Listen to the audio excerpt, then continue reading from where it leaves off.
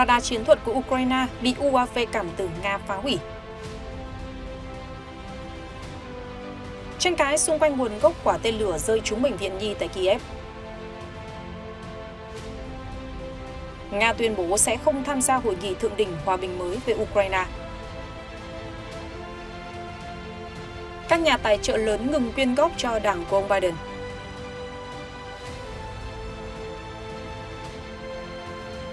Mỹ đang chuyển những quả bom hạng nặng đến Israel. Kính chào quý vị và các bạn đang theo dõi chương trình Toàn cảnh quốc tế được phát sóng hàng ngày trên kênh YouTube Báo điện tử VOV. Vừa rồi là những thông tin chính sẽ có trong chương trình, còn bây giờ là nội dung chi tiết. Cập nhật diễn biến nóng về tình hình chiến sự tại Ukraine, quân đội Nga vừa phá hủy radar chiến thuật radar IE-MHR có trong biên chế lực lượng vũ trang Ukraine. Đoạn video được trang quân sự voendronica.ru trích dẫn cho hay, máy bay không người lái UAV trinh sát Nga hoạt động tại khu vực tiền tuyến ở tỉnh Kharkov. Ukraine đã phát hiện một nhóm quân nhân đối phương đang triển khai trạm radar, radar IMHR cạnh một dạng cây. Phía Nga sau đó đã điều một UAV cảm tử tới tập kích khí tải đối phương. Đòn tấn công từ UAV nhanh chóng khiến radar IMHR cháy lớn. Theo thông tin từ min.min.ua, quân đội Ukraine từ tháng 5 năm 2023 đã đưa 16 hệ thống radar IMHR có nguồn gốc từ Israel vào biên chế.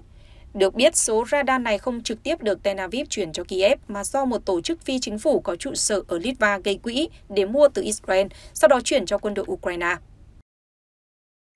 Thủ tướng Na Uy Jonas Gastor mới đây cho biết chính phủ nước này sẽ tặng 6 chiếc F-16 cho Ukraine để Kiev tự vệ trước các cuộc tấn công của Liên bang Nga. Từ lâu, Ukraine đã mong muốn có được những chiếc chiến đấu cơ F-16 hiện đại để giành lợi thế tác chiến trước sàn hỏa lực hùng hậu của Liên bang Nga. Đan Mạch đã cam kết viện trợ 19 máy bay chiến đấu F-16 cho Ukraine, con số này của Hà Lan là 24 chiếc. Theo Ngoại trưởng Mỹ Antony Blinken ngày 10 tháng 7, Đan Mạch và Hà Lan đang chuyển giao lô đầu tiên của máy bay chiến đấu F-16 do Mỹ sản xuất cho Ukraine. Trong một động thái mới nhất, Na Uy đã trở thành quốc gia châu Âu thứ ba sau Hà Lan và Đan Mạch tặng chiến đấu cơ F-16 cho Ukraine. Theo hãng tin AP ngày 11 tháng 7, phát biểu vào hôm 10 tháng 7 trước khi tới Washington dự hội nghị thượng đỉnh tổ chức Hiệp ước Bắc Đại Tây Dương NATO, Thủ tướng Na Uy Jonas Gastor cho biết chính phủ nước này sẽ tặng 6 chiếc F-16 cho Ukraine để Kiev tự vệ trước các cuộc tấn công của Liên bang Nga. Thủ tướng Na Uy cho rằng khả năng tự vệ trước các cuộc tấn công từ trên không của Kiev là vô cùng quan trọng trong cuộc chiến phòng thủ chống lại Liên bang Nga và Na Uy đặt mục tiêu bắt đầu chuyển máy bay chiến đấu F-16 cho Ukraine vào năm 2024. Liên quan đến vụ tấn công nhằm vào bệnh viện Nhi Omadit ở Kiev khiến hai người lớn thiệt mạng, trong khi Nga tuyên bố quả tên lửa AIM-120 phóng từ tổ hợp phòng không NASAM của Ukraine rơi trúng bệnh viện, thì Kiev lại cho rằng đó chính là tên lửa hành trình KH-101 của Nga. Bệnh viện nhi lớn nhất Ukraine nằm tại thủ đô Kiev mang tên Okhamadit đã trúng tên lửa vào một góc lớn của tòa nhà đổ sụp ngày 8 tháng 7 sau khi Nga phóng 38 quả đạn tên lửa vào Kiev cùng một loạt thành phố Donetsk, Kryvyi, Slavyansk và Kramatorsk vào sáng cùng ngày. Hơn 50 người bị thương, trong đó có 7 trẻ em. Cơ quan an ninh quốc gia Ukraine SBU khẳng định bệnh viện nhi Okhamadit trúng tên lửa hành trình KH-101 của Nga – trong khi đó, Bộ Quốc phòng Nga lại phủ nhận và nhấn mạnh rằng họ chỉ nhắm vào mục tiêu quân sự và công nghiệp quốc phòng. Moscow cho rằng thiệt hại ở bệnh viện là do tên lửa phòng không của Ukraine bị lạc đạn gây ra. Phát ngôn viên Bộ Ngoại giao Nga Maria Zakharova ngày 9 tháng 7 cho biết, quân đội nước này trước đó một ngày dùng vũ khí chính xác tầm xa tấn công các cơ sở quân sự của Ukraine để đáp trả việc quân đội Ukraine liên tục tìm cách gây thiệt hại cho các doanh nghiệp Nga. Bà Zakharova nhấn mạnh, Tên lửa phòng không Ukraine nhiều lần đi chệch hướng, lao vào các tòa trung cư và cơ sở dân sự. Lần này cũng vậy. Các bằng chứng và nhiều nhân chứng xác nhận một tên lửa phóng từ tổ hợp phòng không NASAMS do phương Tây cung cấp lao trúng tòa nhà trong khuôn viên bệnh viện Nhi Okhamadit ở Kiev. Phát ngôn viên Bộ Ngoại giao Nga cũng cáo buộc Ukraine cố tình đặt hệ thống phòng không trong các khu dân cư, sử dụng dân thường làm lá chắn sống. Ngoài ra, phát ngôn viên Điện Kremlin Dmitry Peskov cũng nhấn mạnh rằng Nga không nhắm vào mục tiêu dân sự. Daniela Bell, người đứng đầu phái bộ giám sát nhân quyền Liên Hợp Quốc tại Ukraine, ngày 9 tháng 7 nhận định, Video cho thấy bệnh viện Nhi Okhamadit trúng đòn trực diện trong trận không kích thay vì bị mảnh vỡ từ quả đạn, bị đánh chặn văng trúng. Bà kêu gọi điều tra sự việc. Cơ quan an ninh Ukraine SBU cũng công bố hình ảnh một số vật thể mà họ cho là mảnh động cơ tên lửa hành trình KH-101 của Nga được tìm thấy ở Okhamadit. SBU cho biết đang phân tích về thiệt hại và quỹ đạo bay của quả đạn, cho thấy bệnh viện trúng đòn trực diện. Thứ trưởng Ngoại giao Nga Mikhail Galuzin mới đây tuyên bố Moscow không chấp nhận tối hậu thư và sẽ không tham gia hội nghị thượng đỉnh mới về Ukraine. Đài Sputnik dẫn tuyên bố của ông Galuzin cho biết, chúng tôi biết ý định của Kiev và các cố vấn phương Tây là tự phục hồi sau hội nghị thượng đỉnh hòa bình thất bại ở Bergenstock, Thụy Sĩ hồi giữa tháng 6 năm nay và đang cố gắng tổ chức một sự kiện tương tự. Địa điểm cụ thể chưa được xác định, tuy nhiên địa lý không có tầm quan trọng cơ bản. Điều quan trọng hơn là nội dung, trong đó mọi thứ đều cực kỳ rõ ràng. Ông Galuzin cho biết Nga đã được thông tin rằng Kiev hy vọng đạt được tối hậu thư từ công thức hòa bình 10 điểm của Tổng thống Ukraine Volodymyr Zelensky, đồng thời cũng nhận thấy sự coi thường có chủ ý đối với các sáng kiến khác nhằm giải quyết cuộc khủng hoảng Ukraine. Ông Galuzin tuyên bố, chúng tôi không chấp nhận những tối hậu thư đó và sẽ không tham gia vào những hội nghị thượng đỉnh như vậy. Tiếp theo là những diễn biến mới nhất của cuộc đua vào Nhà Trắng năm 2024. Thưa quý vị, Tổng thống Mỹ Joe Biden đang phải đối mặt với những hoài nghi về cơ hội tái đắc cử của ông khi các nhân vật có ảnh hưởng trong Đảng Dân Chủ và các nhà tài trợ chính bắt đầu lên tiếng. Phát biểu trên MSNBC, cựu Chủ tịch Hạ viện Nancy Pelosi, một đồng minh lâu năm của Tổng thống Mỹ cho biết, ông Biden phải nhanh chóng quyết định xem có nên tiếp tục cuộc đua vào Nhà Trắng năm 2024 hay không. Cựu Chủ tịch Hạ viện Mỹ nhấn mạnh, Tôi muốn ông ấy làm bất cứ điều gì ông ấy quyết định làm. Tất cả chúng tôi đều khuyến khích ông ấy đưa ra quyết định đó vì thời gian không còn nhiều nữa. Bà Pelosi cho hay, bà đã khuyên các thành viên Đảng Dân Chủ đang lo ngại về ông Biden, hãy kiềm chế phát ngôn khi Mỹ đang tiếp đón các nhà lãnh đạo NATO tới dự hội nghị thượng đỉnh tại Washington DC trong tuần này. Ngôi sao Hollywood George Clooney, một thành viên Đảng Dân Chủ, người đồng tổ chức một buổi gây quỹ cho ông Biden vào tháng trước, đã rút lại sự ủng hộ của mình trong một bài viết trên tờ New York Times, cho rằng ông Biden không còn giống như năm 2020. Trong khi đó, theo Axios, lãnh đạo Đảng Dân Chủ tại Thượng viện George Schumer đã phát tín hiệu rằng ông sẵn sàng chào đón một ứng cử viên khác mà không phải là ông Biden. Tuy nhiên, trong một tuyên bố sau bài viết của Axios, ông Schumer đã nhắc lại sự ủng hộ dành cho Tổng thống đương nhiệm. Thượng nghị sĩ Peter Well ngày 10 tháng 7 đã trở thành đảng viên Dân Chủ tại Thượng viện đầu tiên công khai kêu gọi đương kim Tổng thống Joe Biden rút khỏi cuộc đua Tổng thống năm nay. Trong bài viết trên tờ Washington Post, Thượng nghị sĩ Well cho biết, mặc dù ông rất tôn trọng Tổng thống Biden, người ông mô tả là một trong những nhân vật xuất sắc nhất, nhưng đã đến lúc ông Biden cần nghỉ ngơi vì lợi ích của đất nước. Nhiều nguồn tin tiết lộ các nhà tài trợ cho Đảng Dân Chủ hiện rất lo ngại về khả năng thắng cử năm nay của Tổng thống Joe Biden và đang ngừng đóng góp các khoản lớn cho đảng này. Một chiến lược gia của Đảng Dân Chủ chia sẻ với hãng thông tấn CNN, mọi thứ đều bị đóng băng vì không ai biết chuyện gì sẽ xảy ra. Mọi người đều ở chế độ chờ xem. Người này lưu ý các nhà tài trợ hiện rất tập trung vào những gì Tổng thống Biden đang làm, bao gồm cả các cuộc phỏng vấn và cuộc họp báo. Các nhà tài trợ thường hoạt động sau hậu trường và theo các nguồn thạo tin, họ ngày càng quan ngại về khả năng thắng cử của ông Biden sau màn tranh luận trực tiếp trên truyền hình lép vế của ông trước cựu Tổng thống Donald Trump vào ngày 27 tháng 6. Một nhà gây quỹ của Đảng Dân Chủ cho biết các khoản quyên góp nhỏ đang đến với tốc độ nhanh, nhưng chiến dịch tái tranh cử của ông Biden quá lớn và không thể trông chờ vào những khoản tài trợ thấp như vậy. Đầu tuần này, lãnh đạo Nhà Trắng đã cố gắng chấn an các nhà tài trợ, khẳng định ông vẫn tham gia cuộc đua và tin bản thân vẫn là ứng cử viên sáng giá nhất để đánh bại ứng viên Tổng thống của Đảng Cộng Hòa. Tuy nhiên, điều đó không đủ làm dịu đi sự lo lắng. Một nguồn tin thân cận với nỗ lực gây quỹ của Đảng Dân Chủ tiết lộ, lượng tiền đến đang cạn kiệt, đồng thời mô tả các nhà tài trợ vô cùng thất vọng và lo lắng. Điều đó thể hiện rất rõ trong các buổi gây quỹ được tổ chức sau cuộc tranh luận Biden-Trump cuối tháng 6. Cụ thể, một buổi gây quỹ diễn ra tại tư dinh của thống đốc bang New Jersey, Phil Murphy sau cuộc so tài hùng biện đã thu về 3,7 triệu đô la Mỹ, chưa bằng một nửa số tiền quyên góp được trong buổi gây quỹ tại nhà của cựu thống đốc bang Virginia, Terry McAuliffe một tuần trước sự kiện. Những người chủ trì cũng quyết định hủy kế hoạch tổ chức một bữa tiệc trưa gây quỹ cho ông Biden ở Chicago, Illinois, dịp diễn ra đại hội toàn quốc của Đảng Dân Chủ vào giữa tháng 8, vì có sự bất đồng về cách thức tiến hành trong bối cảnh sụt giảm ủng hộ đối với nỗ lực tái tranh cử của Tổng thống. Tuy nhiên, phát ngôn viên cho chiến dịch tái tranh cử của ông Biden quả quyết, sự kiện nói trên không liên quan đến lịch trình gây quỹ chính thức của họ. Tiếp tục chương trình với một số tin tức quốc tế liên quan đến tình hình tại khu vực Trung Đông. Theo tờ The Times of Israel, dẫn lời một quan chức Mỹ cho biết chính quyền Tổng thống Joe Biden đã giải phóng khoảng một nửa lô bom hạng nặng mà họ đã hoãn chuyển cho Israel kể từ tháng 5 bởi lo ngại lực lượng phòng vệ Israel sẽ sử dụng chúng ở các khu vực đông dân cư ở Gaza. Vào tháng 5, Nhà Trắng thông báo không chuyển 1.800 quả bom 907 kg và 1.700 quả bom 227 kg cho Israel. Khi đó, Tổng thống Mỹ Biden cảnh báo sẽ đóng băng thêm việc chuyển vũ khí tấn công nếu Israel triển khai chiến dịch quân sự lớn ở thành phố Rafah, nơi có hơn một triệu người Palestine đang trú ẩn vào thời điểm đó. Israel sau đó đã điều chỉnh hoạt động để giải quyết lo ngại của chính quyền Mỹ về thương vong hàng loạt đối với người dân Palestine. Bộ trưởng Quốc phòng Israel Joab Gallant đã tìm cách giải quyết một số bất đồng trong chuyến thăm Washington vào cuối tháng 6. Sau chuyến thăm của Bộ trưởng Gallant, Mỹ thừa nhận rằng có một số vấn đề tích tụ trong mạng lưới chuyển giao vũ khí, nhưng nguyên nhân là do bộ máy quan liêu thay vì chính trị, và chúng đã được giải quyết kể từ đó. Quan chức Mỹ xác nhận với tờ Times of Israel rằng những quả bom nặng 227 kg đang trên đường tới Israel. Theo quan chức này, lý do chính khiến những quả bom đó bị giữ lại là bởi chúng tình cờ nằm cùng chuyến hàng vận chuyển những quả bom 907 kg nguy hiểm hơn.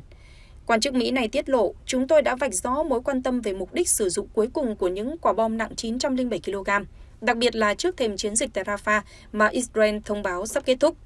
Israel đã công bố về kế hoạch hoàn tất chiến dịch tại Rafah trong những tuần tới và chuyển sang giao tranh ở cường độ thấp hơn, chủ yếu tập trung vào các cuộc tấn công ở Gaza, nơi Hamas cố gắng tập hợp lại lực lượng. Theo phóng viên Thông tấn xã Việt Nam tại Trung Đông, ngày 11 tháng 7, ông Hassan Badran, chỉ huy hàng đầu của phong trào Hamas, đã cáo buộc Israel đang tìm cách gây áp lực trong các cuộc đàm phán ngừng bắn tại Gaza bằng cách tăng cường các hoạt động ném bom di tản.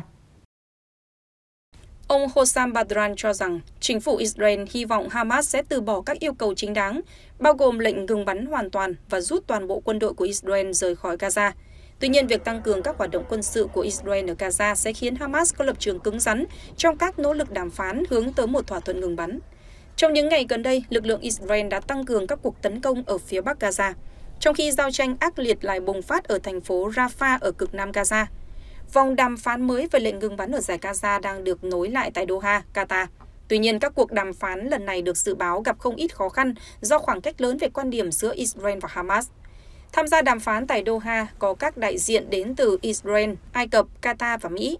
Vòng đàm phán lần này có được động lực mới khi phong trào Hamas và Israel bắt đầu thể hiện sự linh hoạt sau nhiều tháng bế tắc. Lực lượng Hamas tuần trước đã giảm bớt các điều kiện của nhóm này, theo đó từ bỏ yêu cầu Israel phải cam kết bằng văn bản về lệnh ngừng bắn vĩnh viễn khi giai đoạn đầu của thỏa thuận kết thúc. Phía Israel cũng đã đồng ý có điều kiện với đề xuất mới của Hamas, đồng thời nêu bật quan điểm cuối cùng của nước này rằng Hamas phải đáp ứng các yêu cầu về thời gian biểu và các chi tiết về việc trả tự do cho các con tin. Tuy nhiên trên thực tế, hiện vẫn còn khoảng cách lớn giữa hai bên về vấn đề quản lý và an ninh ở Gaza thời hậu xung đột, khi Israel từ chối rút hoàn toàn khỏi vùng đất này. Trước đó vào ngày 10 tháng 7, thủ lĩnh Hezbollah Hassan Nasrallah tuyên bố phong trào này sẽ chấp nhận quyết định của đồng minh Hamas liên quan đến các cuộc đàm phán ngừng bắn ở Gaza, đồng thời tái khẳng định Hezbollah sẽ dừng các cuộc tấn công xuyên biên giới vào Israel nếu đạt được lệnh ngừng bắn. Nối tiếp chương trình sẽ là những thông tin quốc tế đáng chú ý khác. Các nguồn tin thân cận cho biết Tổng thống Ukraine Volodymyr Zelensky đang thất vọng với Thủ tướng Denis Timhan và có khả năng sẽ miễn nhiệm ông. Ứng viên thay thế cho ông Sinhan có thể sẽ là bà Julia Sviridenko, Phó Thủ tướng thứ nhất kiêm Bộ trưởng Kinh tế Ukraine. Theo nguồn tin này, ông Zelensky liên tục muốn có những giải pháp và đề xuất sáng tạo. Trong khi đó, Thủ tướng Shmihan dù đã dày dạn kinh nghiệm hơn trong những năm gần đây, nhưng vẫn chưa thể đáp ứng yêu cầu. Ông Andrei Yermak, tránh văn phòng Tổng thống Ukraine, được cho là đánh giá cao bà Sviridenko. Nguồn tin của Pravda tiết lộ, ông Yermak thường làm theo lời Tổng thống, vì vậy rất có thể Tổng thống cũng ủng hộ bà Sviridenko. Trước khi trở thành Bộ trưởng Kinh tế, bà Sviridenko từng giữ chức Phó tránh văn phòng Tổng thống. Nữ phó thủ tướng này đã tháp tùng đệ nhất phu nhân Ukraine Olena Zelenska trong các chuyến công du nước ngoài. Hai người có mối quan hệ thân thiết và có quan điểm chung về nhiều vấn đề. Một yếu tố khác khiến bà Sviridenko được ưu ái là sự hợp tác của bà với các nhà tài trợ nước ngoài quan trọng. Họ đánh giá bà Sviridenko là một người minh bạch và chưa từng liên quan đến bất kỳ vụ án tham nhũng nào. Tuy nhiên, nguồn tin của Pravda chỉ ra rằng nhiều thành viên trong chính phủ Ukraine và đảng đầy tớ của nhân dân không coi bà Sviridenko là một ứng cử viên nặng ký. Cơ quan quản lý chương trình mua sắm quốc phòng Hàn Quốc ngày 11 tháng 7 thông báo Hàn Quốc sẽ sử dụng vũ khí laser để bắn hạ máy bay không người lái Triều Tiên trong năm nay và trở thành quốc gia đầu tiên trên thế giới triển khai và vận hành vũ khí như vậy. Seoul gọi chương trình laser của họ là dự án Star Wars. Cơ quan quản lý chương trình mua sắm quốc phòng Hàn Quốc DAPA cho biết, vũ khí laser mà quân đội Hàn Quốc hợp tác với Hanwha Aerospace phát triển hoạt động rất hiệu quả và giá thành thấp với 2.000 won, tương đương 1,45 đô la Mỹ cho mỗi lần bắn. Cơ quan quản lý chương trình mua sắm quốc phòng Hàn Quốc khẳng định, Hàn Quốc trở thành quốc gia đầu tiên trên thế giới triển khai và vận hành vũ khí laser và năng lực phản ứng của quân đội chúng tôi trước những hoạt động khiêu khích của Triều Tiên bằng máy bay không người lái sẽ được tăng cường hơn nữa. Cơ quan này cho rằng dàn vũ khí mới sẽ trở thành một nhân tố thay đổi cuộc chơi trên chiến trường tương lai. Vũ khí laser bắn rơi máy bay không người lái bằng cách đốt cháy động cơ hoặc thiết bị điện tử khác của máy bay bằng chùm sáng chiếu vào trong 10 đến 12 giây. Tháng 12 năm 2023, năm chiếc máy bay không người lái của Triều Tiên xâm nhập Hàn Quốc, khiến Seoul phải điều cả máy bay chiến đấu và trực thăng tấn công đánh chặn.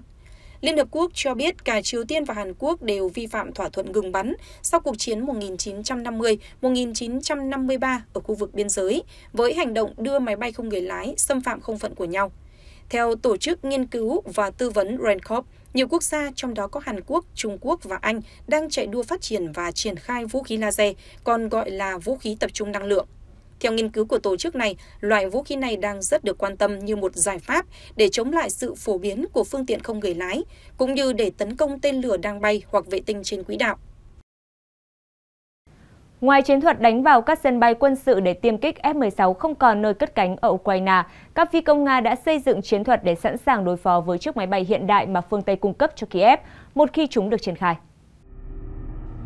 Ukraine sẽ sớm nhận được tiêm kích F-16 sau khi chính phủ Hà Lan cấp các giấy phép cần thiết để bàn giao máy bay chiến đấu này cho Ukraine. Phía Hà Lan không nêu rõ số lượng máy bay sẽ được chuyển đi trong đợt bàn giao đầu tiên này, cũng như chính xác thời gian khi nào chúng sẽ đến Ukraine. Nga nhiều lần cảnh báo sẽ phá hủy các chiến đấu cơ F-16 mà phương Tây cung cấp cho Ukraine, thậm chí cả những chiếc được triển khai bên ngoài biên giới Ukraine để tấn công Nga.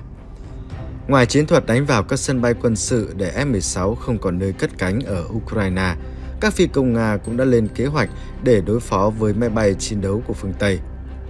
Theo kênh tin tức quốc phòng Zvezda của Nga, các phi công tiêm kích Su-30 của nước này đã xây dựng chiến thuật trong trường hợp phải giao chiến với F-16. Các phi công Nga tin rằng F-16 sẽ không gây ra mối đe dọa đáng kể nào trong các tình huống chiến đấu. Họ đã nghiên cứu kỹ lưỡng các đặc tính của F-16 Chúng sẽ xuất hiện và điều đó chẳng có vấn đề gì cả. F-16 sẽ trở thành mục tiêu mới và chúng tôi đang chờ đợi chúng xuất hiện. Một phi công Nga lái máy bay Su-30 SM-2 cho biết. Cả phi công mới và các phi công giàu kinh nghiệm của Nga đều liên tục tham gia các khóa huấn luyện để chuẩn bị cho các tình huống chiến đấu, bao gồm cả những cuộc chạm trán có thể xảy ra với máy bay Mỹ. Phi công Nga tự tin vào khả năng đối đầu với F-16 trong các trận không chiến tầm gần. Trong đó, họ có thể khai thác điểm yếu của máy bay phương Tây để giành lợi thế. Nhìn chung, đặc tính khí động học của nó không thay đổi, nó vẫn là chiếc máy bay một động cơ. Chúng tôi biết điểm mạnh và điểm yếu của nó, và khi phải cận chiến, chúng tôi sẽ đẩy F-16 vào tình thế bị áp đảo hoàn toàn. Viên phi công nói. Mặc dù Ukraine có thể sẽ sử dụng chiến thuật đánh lừa và phục kích, nhưng các phi công Nga vẫn tự tin rằng máy bay của họ vượt trội hơn F-16 về khả năng cơ động, vũ khí và hệ thống nhắm mục tiêu. Máy bay của chúng tôi vượt trội hơn F-16 về khả năng cơ động cũng như vũ khí. Hệ thống nhắm mục tiêu của chúng tôi cũng tiên tiến và hiện đại hơn nhiều. Phi công Nga cho biết khi nói về tiêm kích Su-30 SM-2. Với các hệ thống tiên tiến trên Su-30 SM-2 kết hợp với chiến thuật phù hợp, phi công Nga tin rằng họ sẽ có ưu thế trong bất kỳ cuộc giao chiến tiềm tàng nào với F-16. Ông Oleg Pankov, giám đốc thiết kế của chương trình Su-30 cho biết Su-30 SM-2 đã được cải tiến đáng kể so với các biến thể trước đó, đặc biệt là hệ thống vũ khí và radar. Su-30 SM-2 hiện có thể triển khai hầu hết mọi loại vũ khí tiên tiến trong kho vũ khí của Nga. Phạm vi phát hiện mục tiêu của biến thể này cũng tăng gần gấp đôi so với Su-30 SM, bao gồm cả mục tiêu trên mặt đất và trên không. Kênh truyền hình Zvezda mới đây cũng đã đăng tải đoạn video hiếm hoi cho thấy Su-30 SM-2 thử nghiệm thả bom xuyên bê tông. Những quả bom này xuyên qua mặt đất trước khi phát nổ, cho thấy khả năng tấn công chính xác của máy bay. Ngoài ra, các máy bay chiến đấu Su-30 SM-2 sẽ nhận được trang bị động cơ mới tương tự động cơ được lắp ráp trên máy bay Su-35 và Su-57 vào năm tới. Nhờ đó, Su-30 SM-2 có thể đạt tốc độ cao hơn. F-16 được cho là sẽ đóng vai trò then chốt trong hoạt động phòng thủ của Ukraine trước các cuộc tấn công của Nga. Dù vậy, biến thể mà Ukraine dự kiến được nhận sẽ là Block 15. F-16 AMBM Block 15 là biến thể đầu tiên của F-16 Fighting Falcon. So với các phiên bản tiên tiến hơn, biến thể đời đầu này chỉ được trang bị hệ thống radar và hệ thống điện tử hàng không tương đối cơ bản. Radar AN-APG-66 tuy hiệu quả vào thời điểm Block 15 mới ra mắt, nhưng nó đã trở nên lỗi thời so với các hệ thống radar hiện đại hơn trong các biến thể F-16 sau này. F-16 Block 15 không có hệ thống tác chiến điện tử tích hợp như trong các mẫu mới hơn. Hệ thống vũ khí của Block 15 cũng kém phức tạp hơn. Mặc dù nó vẫn có thể mang nhiều loại đạn không đối không và không đối đất, nhưng lại không hỗ trợ một số loại đạn dẫn đường chính xác mới nhất hay các thiết bị nhắm mục tiêu tiên tiến vốn đã trở thành tiêu chuẩn trên các biến thể F-16 gần đây hơn. Động cơ trên Block 15 là Pratt Whitney F100 có lực đẩy yếu hơn so với động cơ ở các mẫu máy bay mới hơn. Các phiên bản sau này của F-16 như Block 5052 và Block 60 được tích hợp hệ thống điều khiển bay tiên tiến và cải tiến về cấu trúc. Những nâng cấp này góp phần kéo dài tuổi thọ của khung máy bay, khiến chúng trở nên linh hoạt và bền bỉ hơn trong các điều kiện hoạt động khác nhau. Ngoài ra F-16 Block 15 cũng không có khả năng liên kết dữ liệu tiên tiến, chẳng hạn như Link 16, cho phép liên lạc và phối hợp tốt hơn với các máy bay khác và các đơn vị mặt đất. Ukraine đang rất cần máy bay chiến đấu do số lượng máy bay này đã bị giảm đi rất nhiều trong vài năm qua. Tin vui là không quân Ukraine sẽ sớm nhận được khoảng 85 máy bay chiến đấu F-16, cũng như các phi công Ukraine do các đối tác phương Tây huấn luyện. Nhưng tin buồn là những nguy hiểm đang chờ đợi họ. Điều này đã được nhà báo chuyên gia quân sự David Acer của Forbes viết. Theo chuyên gia Acer, F-16 Ukraine có nhiệm vụ quan trọng nhất là đánh chặn các máy bay tiêm kích bom Su-34 của đối phương vốn đang ném tới 3.000 quả bom lượn dẫn đường bằng vệ tinh vào chiến tuyến Ukraine mỗi tháng. Ông Acer cũng dẫn lời nhóm phân tích Ukraine Deep State cho biết bom lượn có điều khiển là vũ khí thần kỳ đối với người Nga và hiện tại người Ukraine thực tế không có biện pháp đối phó nào.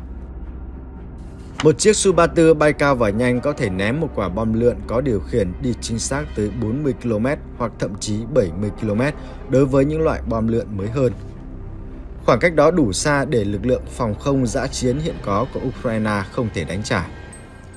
Tuy nhiên, nhà phân tích Justin Brown trong một nghiên cứu mới của Viện các quân chủng thống nhất Hoàng gia Anh, (RUSI) ở London cho rằng nhiệm vụ của các phi công F-16 của Ukraine sẽ rất khó khăn. Ông viết, sẽ rất khó để có thể đánh chặn các cuộc xuất kích của Su-34 thường xuyên. Vấn đề chính mà các phi công F-16 phải đối mặt là hệ thống phòng không trên mặt đất của Nga, khiến máy bay chiến đấu Ukraine bay cao sẽ cực kỳ nguy hiểm. Không chỉ khu vực chiến tuyến mà hầu hết mọi nơi trên lãnh thổ Ukraine đặc biệt là trong phạm vi khoảng 160 km tính từ tiền tuyến, nằm trong tầm bắn của hệ thống phòng không S-400 hay S-300, thậm chí là S-500 của Nga.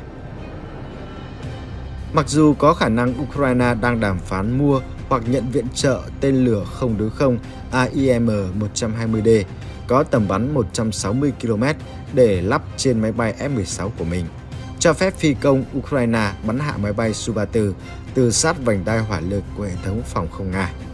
Nhưng trên thực tế, tên lửa AIM-120 sẽ không thể bắn được kịch tầm. Thông tin vừa rồi cũng đã khép lại chương trình Toàn cảnh quốc tế được phát sóng hàng ngày trên kênh YouTube Báo điện tử VOV.